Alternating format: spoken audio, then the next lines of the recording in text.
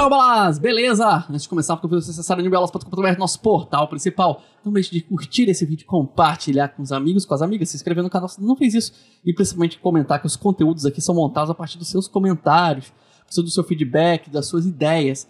Tudo isso me ajuda demais, beleza? Tá dado o recado.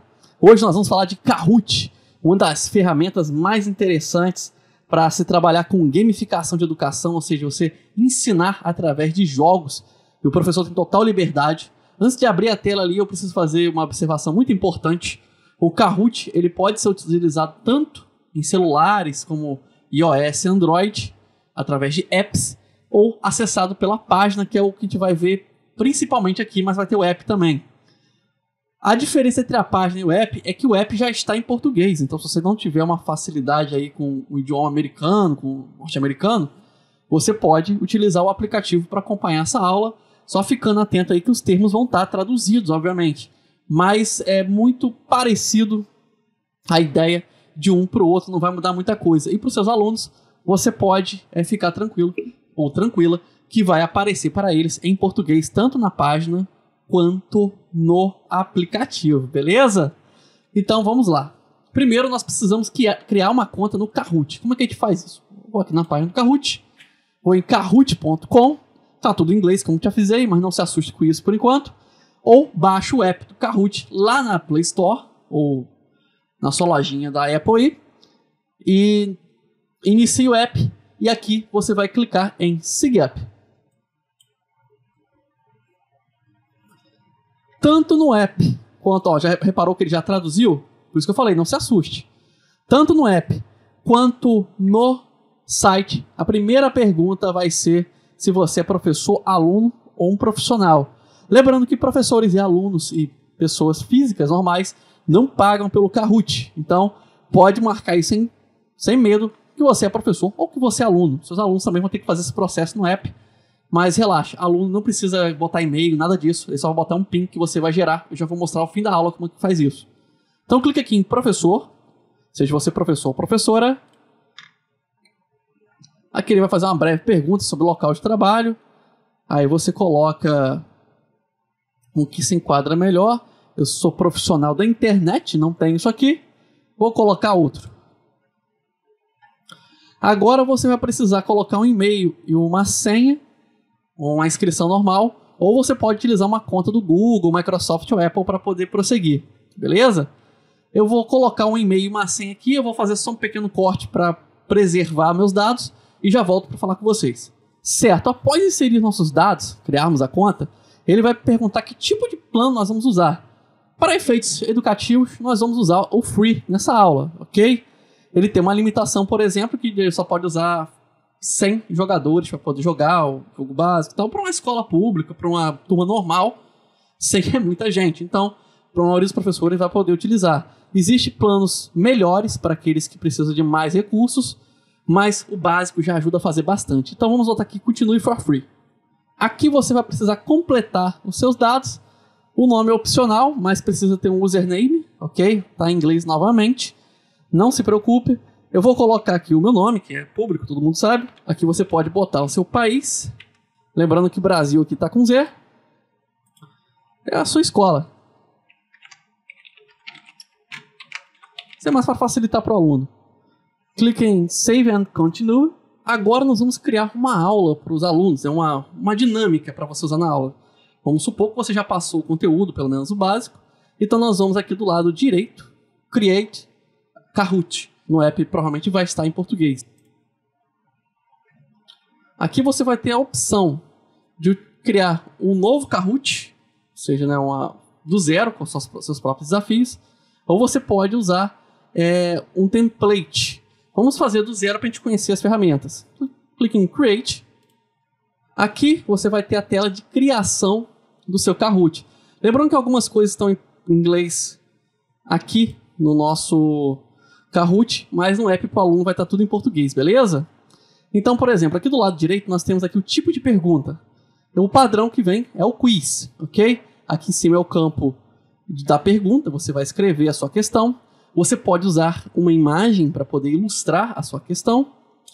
E você pode adicionar aqui é, em torno de quatro perguntas, quatro respostas, na verdade já vem padrão quatro respostas aqui. E elas também podem ter figuras, então você pode trabalhar com imagem, de repente, para pedir para o aluno reconhecer, identificar algo. Se você for ensinar geografia, de repente trabalhar com algum tipo de mapa, algum tipo de, de região, então você pode usar imagens para poder estimular aí o aluno. Nós também temos, além do quiz, é, o verdadeiro ou falso, e as outras ferramentas elas são pagas, tá? Então eu não vou falar muito delas agora, mas elas estão disponíveis para quem paga ou para uma escola que de repente resolva contratar o serviço premium do Kahoot. Mas de qualquer forma, para o professor já é excelente, porque já dá para fazer um desafio muito interessante com os alunos. Então, é, vamos fazer aqui uma pergunta de exemplo. Qual o canal que ensina de graça? Você pode adicionar uma imagem aqui para auxiliar o aluno. Vou botar aqui. Você pode clicar e arrastar a imagem até aqui, tá? Como eu não tomei o cuidado de separar antes, vou clicar em upload imagem para poder pegar do meu computador. Aqui também não falei antes, mas também tem como inserir um link do YouTube, ou seja, você pode abrir um vídeo. Depois você quer que seu aluno assista uma palestra, um vídeo rápido sobre um tema e responda sobre esse tema. Você pode fazer isso também. Então vou botar upload imagem, também tem a imagem da libraria. Ou da, tem também a imagem da biblioteca do Kahoot. Vou clicar em upload imagem. Selecionei aqui uma imagem do próprio canal. Meu navegador de vez em quando dá problema de prévia, mas apareceu dessa vez. E aqui embaixo eu posso selecionar a resposta. Qual o canal que ensina de graça? Vou botar aqui, ó, Newbie Aulas. Aqui do lado podemos inserir uma imagem, ou tem esse círculozinho aqui, ou não, né? Temos essas as duas coisas podemos usar juntas. Pode botar uma imagem e também marcar se é a resposta correta. Se for a resposta correta, você deixa um tiquezinho nesse círculo. E depois você bota outras respostas, certo? Aqui já está pronto. Eu já fiz um quiz aqui. É, com o quiz pronto, nós podemos adicionar novas questões. Então vamos adicionar mais uma questão aqui só para te ver o verdadeiro ou falso. Vou fazer um Kahoot bem pequenininho aqui só para você ver as ferramentas. Clique em Add Question e selecione o que você quer fazer. Você quer adicionar um outro quiz, um verdadeiro ou falso. As outras ferramentas são premium, então não, não vamos ver agora.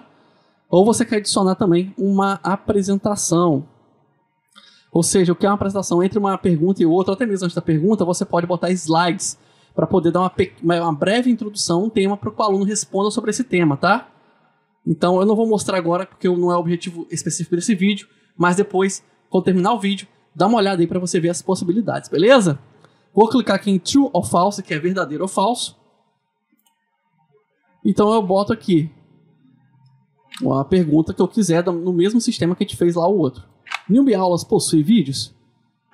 Aí nós temos aqui true or false. Não dá para editar isso, tá? Mas vai aparecer em português quando os alunos é, forem visualizar. Não se preocupe, caso você não conheça inglês. True é verdadeiro, false é falso. Então vamos botar aqui, New Aulas possui vídeos? Eu clico aqui no tiquezinho da resposta correta, boto aqui, por exemplo, true para verdadeiro. Se não fosse, seria false. E também posso inserir uma imagem nas mesmas regras, mesmo contexto que tem lá.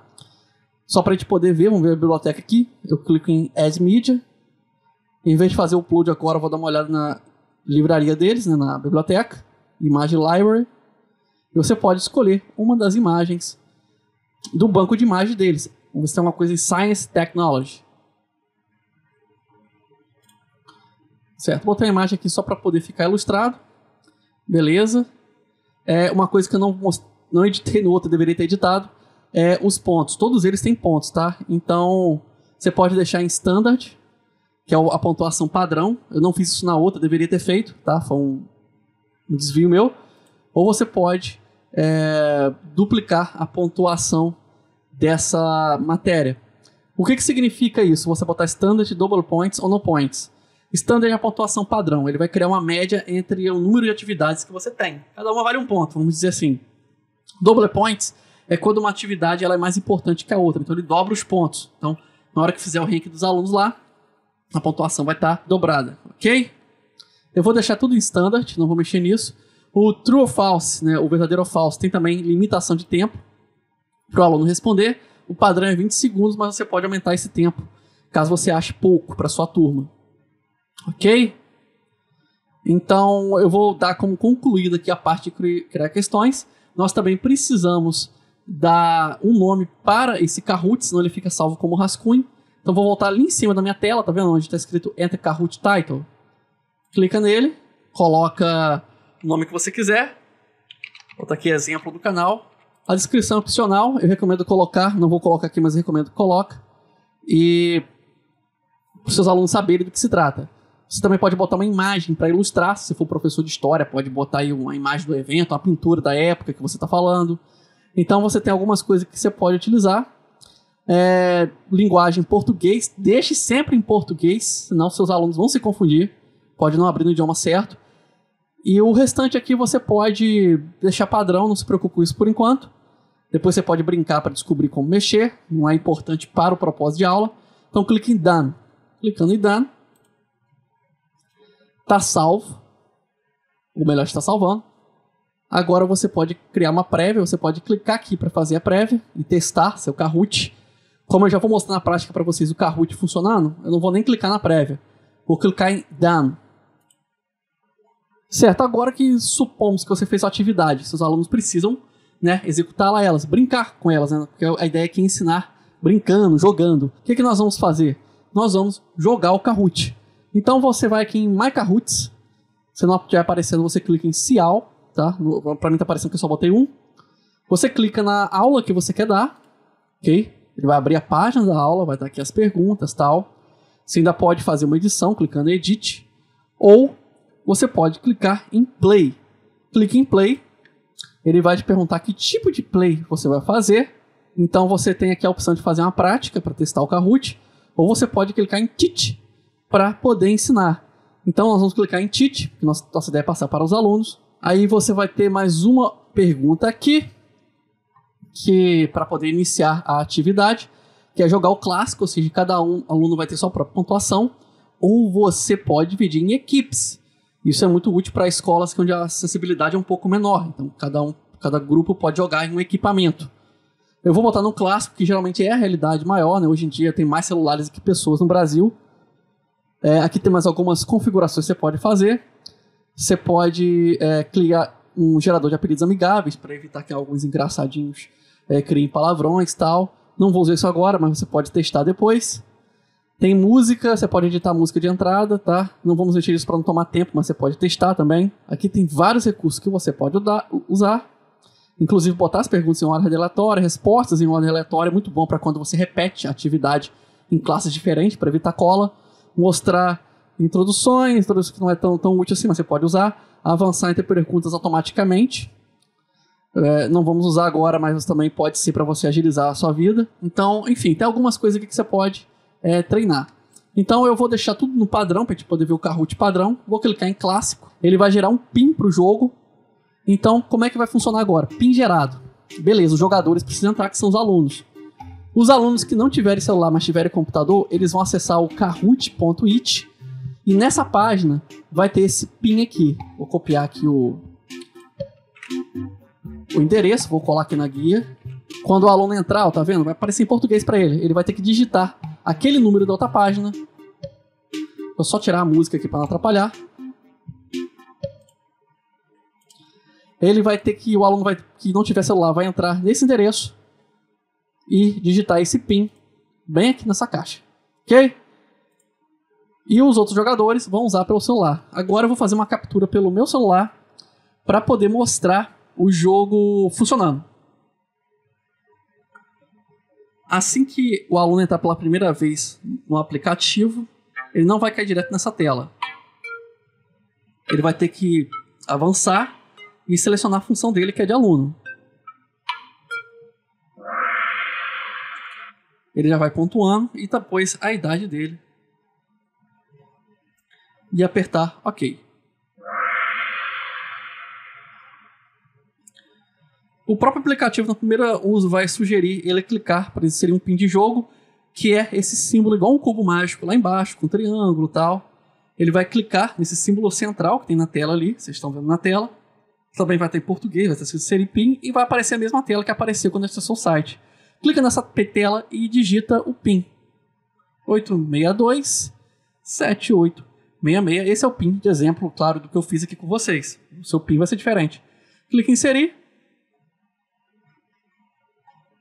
Vai pedir um apelido. E clique em OK, vamos lá. Ó, já apareceu aí, ó o Nilber entrou. Ele já vai ficar guardando aqui a matéria. eu vou clicar em iniciar e as tarefas vão aparecer para os dispositivos dos alunos.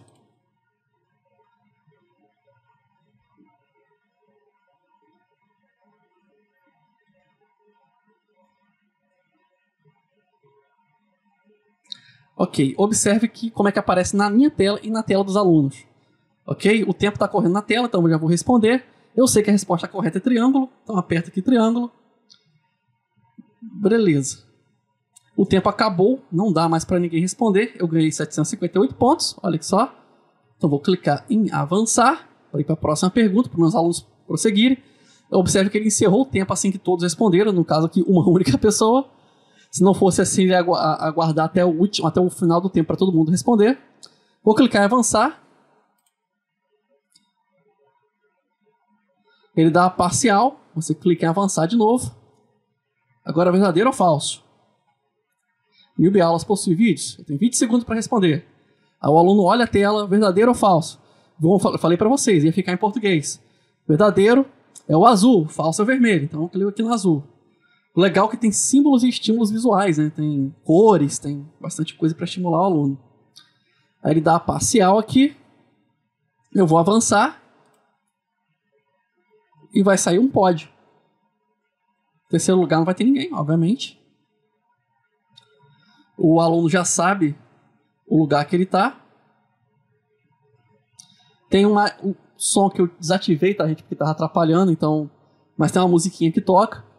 E é isso, pessoal. O vídeo ficou muito grande, então eu vou parar por aqui, mas depois é, tem outras funções que você pode experimentar, tem receber feedback, você pode clicar aqui, tem outras coisas que você pode brincar aqui para saber como é que está é, o andamento do conhecimento dos alunos, beleza?